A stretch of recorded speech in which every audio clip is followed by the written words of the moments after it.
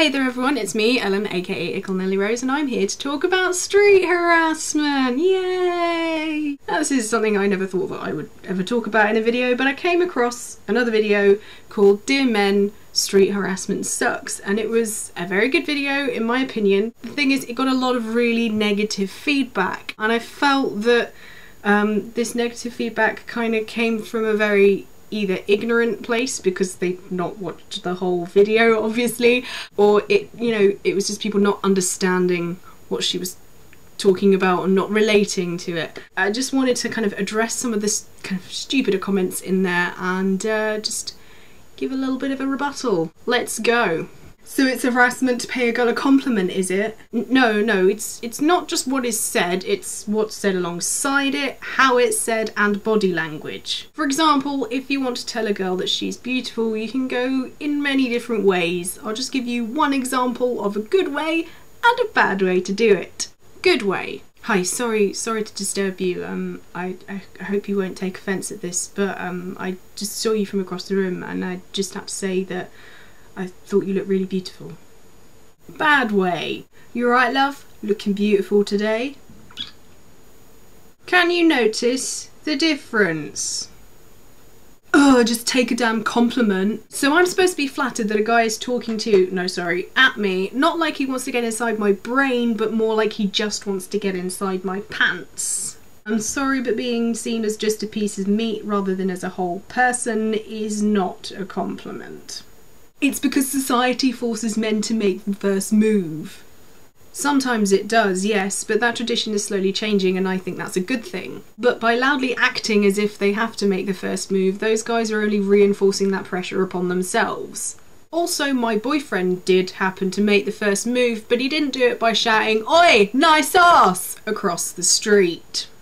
Guys get harassed too, what are you complaining about? Yes, guys get harassed too, and this girl isn't saying they're not.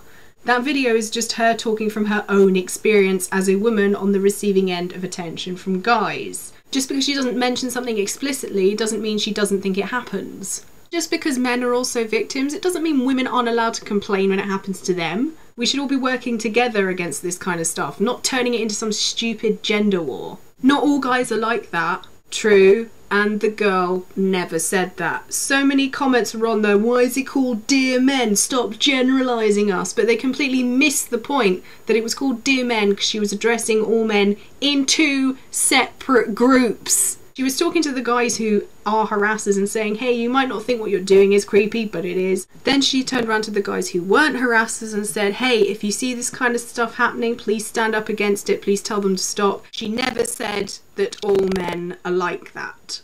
Not every guy who says stuff like that is going to do anything.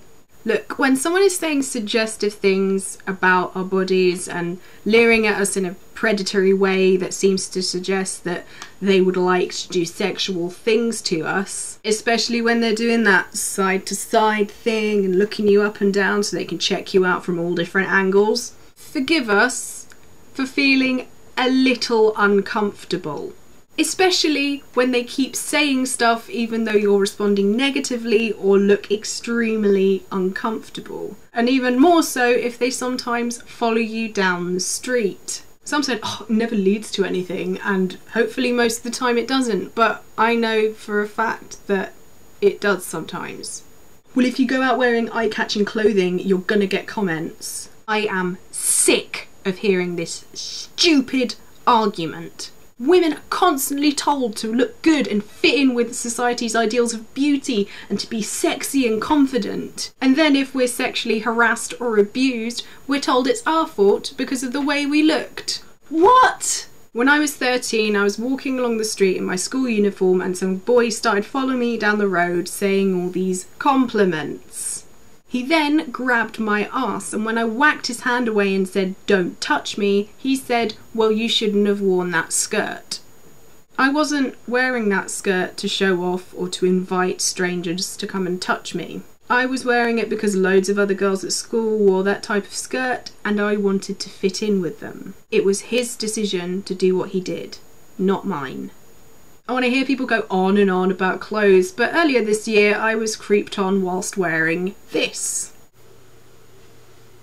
I was sitting in a train station and I noticed two guys making very suggestive faces at me, winking at me, pursing their lips, whilst whispering and laughing to each other.